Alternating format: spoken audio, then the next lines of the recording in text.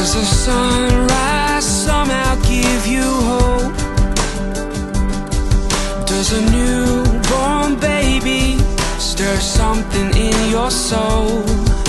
And can a melody of a symphony inspire you? Inspire you?